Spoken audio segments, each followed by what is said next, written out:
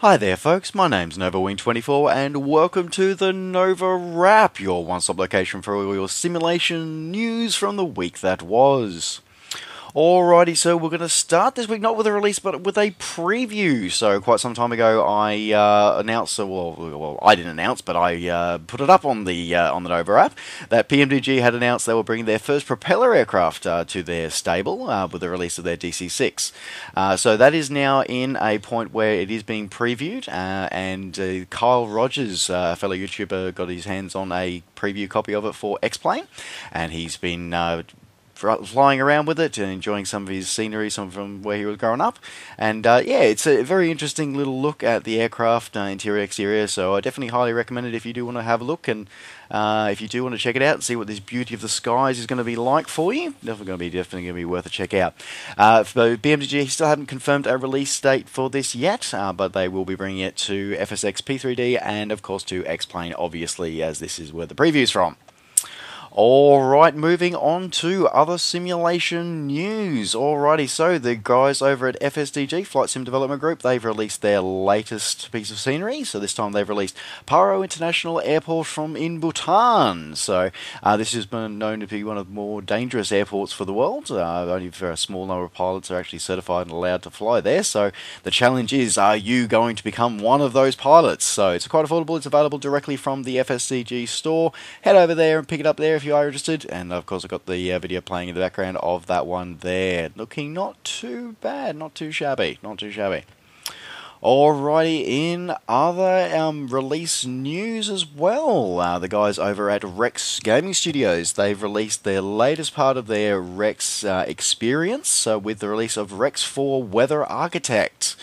So um, this is a their sort of uh, Rex's um, direct competitor to the sort of the widely used uh, weather engine, which is ActiveSky Next.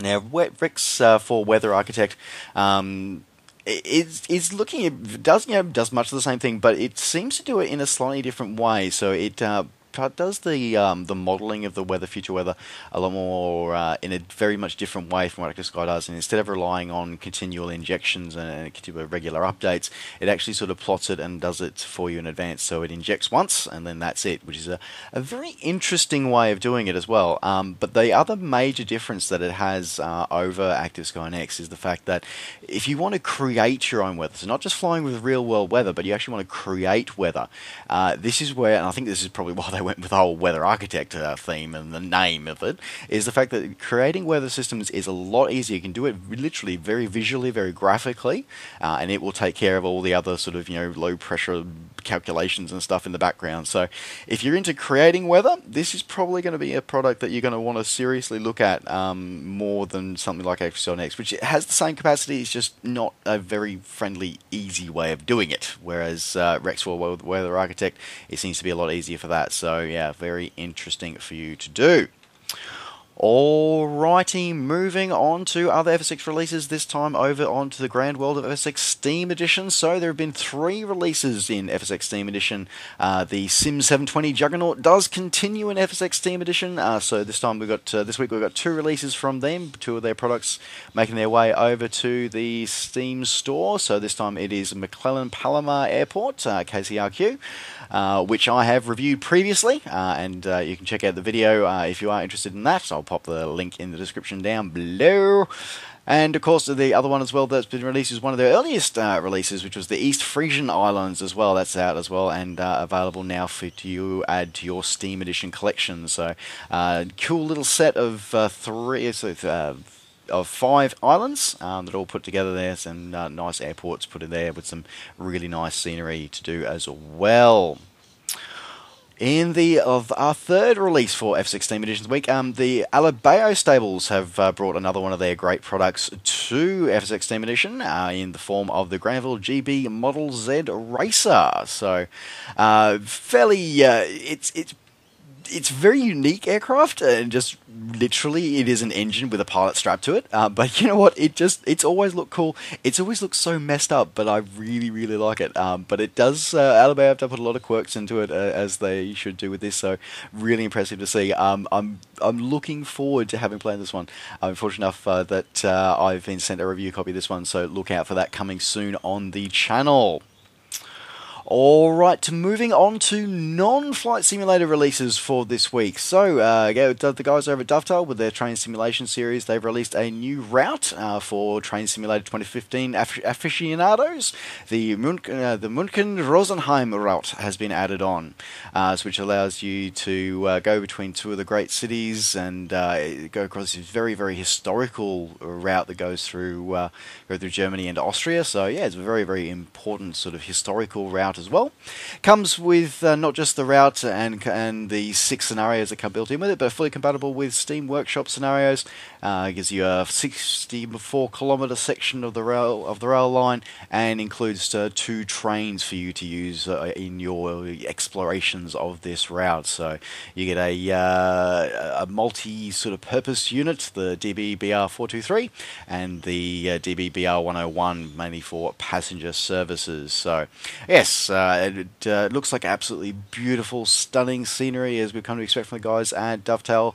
Uh, so if train simulation is your thing, this is probably you, probably already know about it. But hey, if you don't, there it is. It is available now for access from Steam rounding out the releases for this week. So we've got uh, the guys over at Project Cars have released a two new additions for their Project Cars program this week.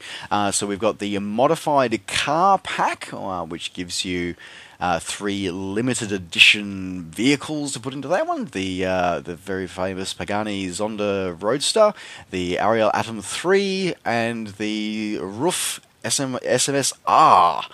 Uh, so pretty cool little vehicles. This one, um, just these things are just in real life, these things are just insane, and to be able to have them, I think we've all, I think, if you're into the car sims, you've always wanted to have these cars in your things. They pretty much get rolled out with every car simulation thing. So good, good to see that they've uh, listed the community and brought those ones out as well. Uh, along with that, if you do pick up those, you can zap around the Audi Ruapuna Speedway. Uh, is the latest track to be added to the collection.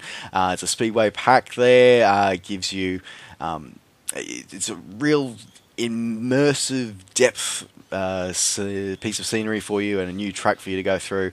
Um, really, really cool. Gives the various different parts of the circuit as well because it's not just one track; it's multiple tracks that's all feed into one thing. So really, really cool, and that is available now as well for you race car aficionados. Alright, folks, well, that rounds out the week and that wraps up the week in simulation news. Thank you very much for tuning in. Don't forget to like the video and subscribe to the channel. Uh, we've hit the 1,000 subscriber mark. Woo! And don't forget the competition is still running. Uh, for those of you who do want to grab yourself a free piece of scenery, uh, don't forget to look for the video the celebrating the 1,000 subscribers. Head over there, uh, answer the questions, and you may be fortunate enough and lucky enough to win the prize. Otherwise, folks, thanks very much for tuning in. As always, uh, don't forget to, to, subscribe to the channel, as I said. And if you do want to catch up with me and all the things that I get up to between videos, don't forget you can find me on Facebook and on Twitter. Just search NovaWing24.